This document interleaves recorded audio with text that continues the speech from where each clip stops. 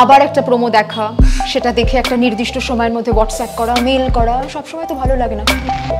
আর ঠিক সেই জন্যই আমরা প্রত্যেক মাসে একটা করে লাইভ নিয়ে আসি। ওই মুহূর্তে ঠিক যে ভাবনাগুলো, বিপন্নতাগুলো, সংকটগুলো আপনাকে ঘিরে আছে, সরাসরি জানিয়ে দিতে পারেন আমাকে এবং আমরা একসঙ্গে সেটার উত্তর খোঁজার চেষ্টাও করি সেই লাইভ অনুষ্ঠানে। আবারও আসছি লাইভ নিয়ে, দেখা হবে আপনাদের সঙ্গে।